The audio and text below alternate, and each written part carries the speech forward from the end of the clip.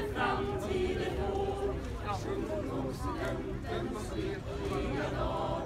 Låt oss fröjdas i ungdomens vår.